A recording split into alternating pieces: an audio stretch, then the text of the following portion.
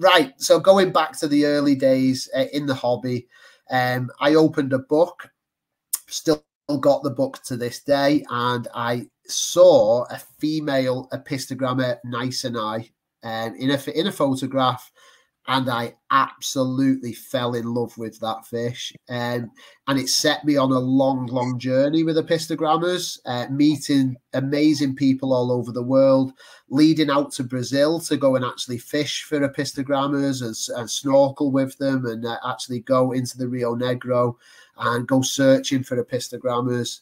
I've kept and bred about 130 species. Uh, I've got breeding records of all those uh, and there's a lot of uh, very useful information I could most probably share. Um, so yeah, so the early days of keeping apistos was um, going to my local shops. I was still relatively young then. Go to local shops, see what I could find, and I kept and bred over the years. So it took me a while because they're not the most commonly kept fish in the world. and they're not the most common fish to find, especially in general pet shops. Mm. So it took me a while, but we I searched out for Apistogramma cacatuoides, Borelli, uh, Agassizii, um, uh, rare, uh, an unusual one from Asia called Steel Blue came up mm-hmm. early on, which is known to be a bit of a hybrid or potentially be a hybrid. Um, and then after keeping and breeding these fish, and I, I absolutely fell in love with them. And we'll go over it, we'll go into some detail on how to keep them uh, very shortly. But I kept all the ones that were easily available to me, but I kept reading more and more about these uh, there was hundreds of species and there was new ones being found all the time and oh, I was just obsessed, and uh, mm. that led me down a big rabbit hole um, of having to look further afield. Um, by this stage, I was a member of several fish clubs, including the British Cichlid Association, um, which then led me to the guys that were really specialising in apistogrammas. And I then went on a journey and uh, visiting people the other side of the country, uh, mm. staying in their fish rooms, coming home with bags of uh, fry of very rare and unusual species. And then it snowballed from there. We were in touch with people who went out to collect apistogrammas and bring them back, some of the rarest fish in the hobby, apistogramma wise. And um, yeah, so over the course of most probably about 10, 15 years, then I specialized in apistogramma.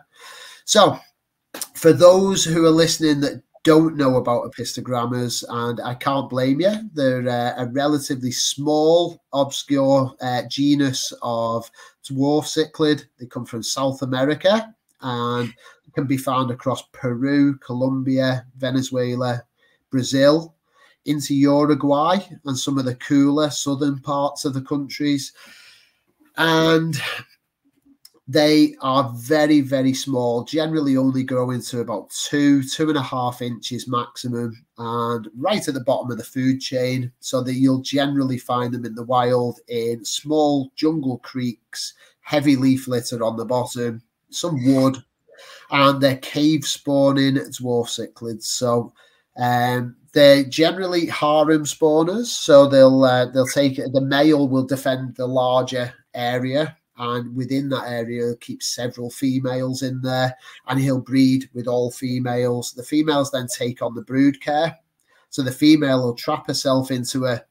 Uh, I used to use half a coconut uh, with a tiny notch cut out, soft sand substrate, and I'd set the tanks up, maybe with some leaf litter, and um, the fish would live in there. They they absolutely require soft and acidic water and a very good diet of live foods. So uh, they don't do very well in hard water, and uh, they certainly don't do very well in uh, dry foods as well.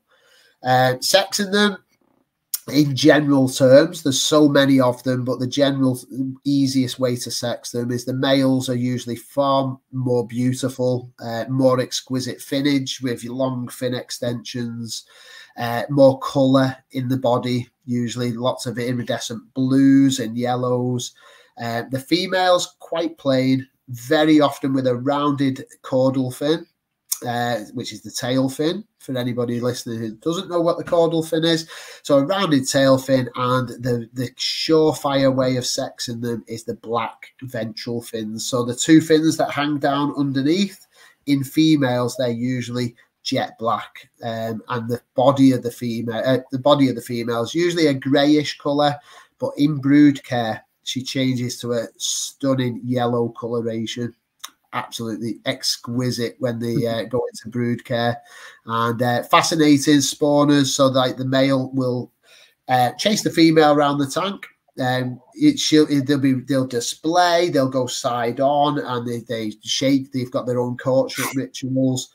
The female will then choose her spawning site, which is usually in a cave or in a tucked away uh, hollow in the wood or under a leaf, usually somewhere uh, hidden away, and she'll get in there. She'll lay the eggs. The male will then fertilize them, but then he'll be chased away by the female, and he will then cease to have any kind of brood care responsibilities.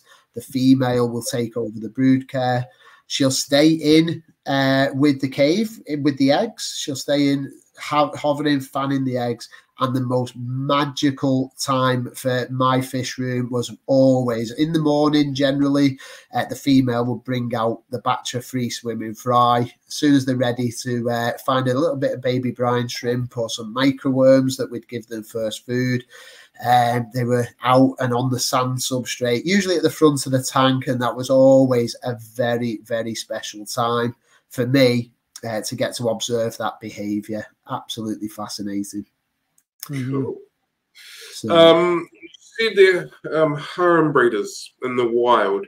Is that applied to in the aquarium as well, or one to one pairs, or one to two a better ratio? How, how does that work in the aquarium if you're looking to spawn them?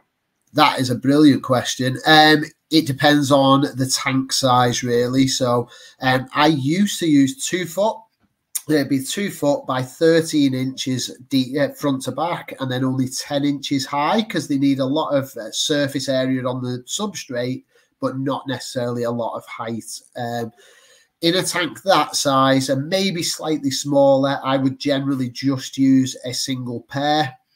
Um, the best tanks I've ever had were a meter long uh, by at least 18 inches front to back and in there, I'd keep a group of them, maybe two or three males, so you can see that interaction between the dominant males and how they form uh, their own territories within that larger tank, and then several females for each male, uh, and lots of caves and hiding places.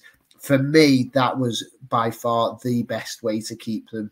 Um, most of mine were kept in pairs, so I didn't see the full range of activity and, and uh, general behavior in a lot of the species. But um, yeah, the few tanks that I have kept, uh, the few species I've kept in groups in larger tanks, if I was going to do it again, I think definitely uh, that would be the way forward.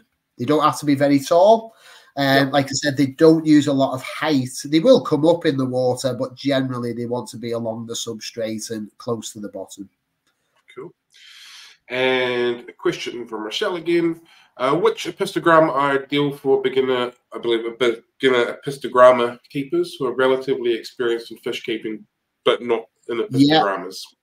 Rochelle, you would do great, absolutely great with Apistogramma borelli very forgiving, one of the more peaceful apistos, so you're not going to run into too many issues with uh, hyper aggression with either the male or the female. They're relatively chilled out.